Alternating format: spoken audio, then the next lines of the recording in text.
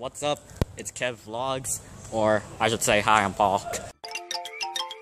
Hi, I'm Paul. Oh, what do you think of the Dodger game? Oh yeah, that was a home run. Of course. Oh, the Dodger game? Dude, I was I had my whole mindset on the Boston game.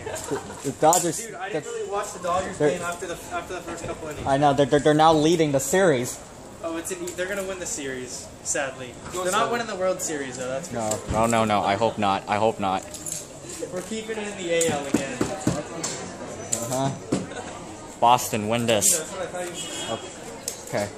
See, See ya. Boston, you better win this, okay? And also Milwaukee. Shout out to Milwaukee Brewers. You gotta win. You gotta tie up this series, okay? You gotta tie up the series, okay?